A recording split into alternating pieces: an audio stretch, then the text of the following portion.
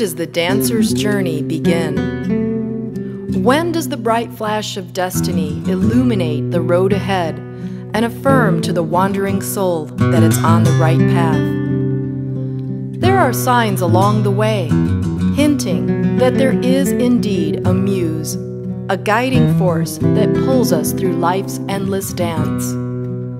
Dancing through far off places, dancing toward the beauty of sacred places that inspire and lift the soul's expression to greater heights. In this life, I have seen that movement begets movement. My dance in art is fueled by my dance through life. I am a perpetual pilgrim, traveling to ancient wells of inspiration and mythic beauty, in constant courtship of the mysteries of dance and movement whether I'm dancing with the elements or whether I'm dancing with fellow travelers in a celebration of life's journey.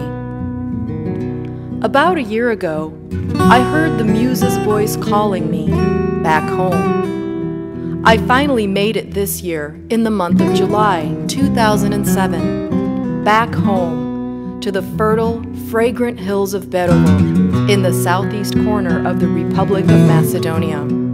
These hills have sustained generations of my mother's clan, Mitinsky. A rich historical range of cultural influences have shaped the local culture into a hybrid of Byzantine mystery and Roma fire. Welcome to Berovo, the scene of my early childhood, to which I've returned again and again. I had been gone way too long this past time seven years.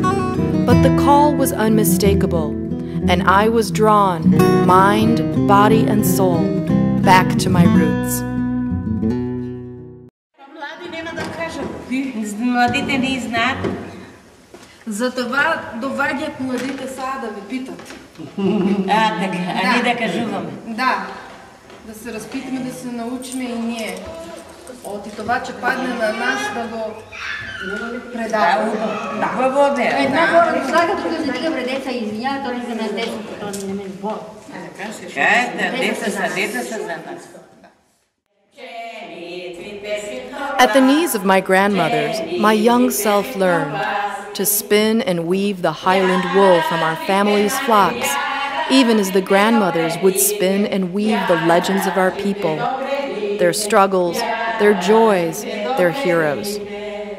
Through evocative songs, a living history springs from the mouths of those born at a time when literacy was still a luxury. The rhythms of life, love, and death, the rhythms of the year, planting, harvesting, and wintering, are all celebrated in these ancient songs and dances. In my own family, I was told stories and shown pictures of sheep shearing festivals in the highlands where the Roma would come to beat the drums and play the zurla, the gaida, and clarinet while my grandfather and his four brothers relieved their flocks of their thick coats of wool. Invariably, a lamb would be roasted, and they would all feast together in the highlands, Slav and Roma, Orthodox and Muslim, in the organic cultural mix that defies the popular political term balkanization. This is the Maleshevo region, the Macedonia I grew up in, a unique cultural spirit distilled from Slav, Roma, Turkish, Bulgarian, and Greek influences. Here, in this region, destinies have intertwined for generations upon generations with the help of music and dance.